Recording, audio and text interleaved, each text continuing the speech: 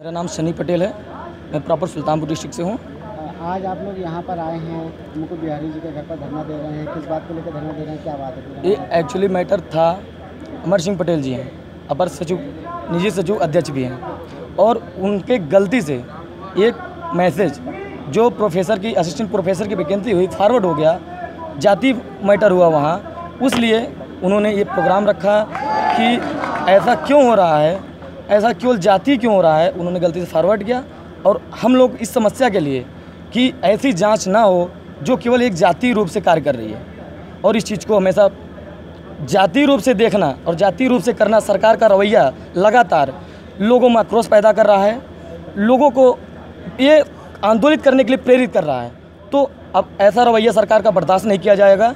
किसी भी कीमत पर इसके लिए आज हम लोग जिस तरीके से प्रदर्शन किए इससे बड़ा होगा और इससे भयानक होगा अगर सरकार नहीं सुधरी तो। क्या मांग करते हैं? हम ये मांग करते हैं अमर सिंह पटेल जी पर जो कार्रवाई हो रही है उसको वापस लिया जाए।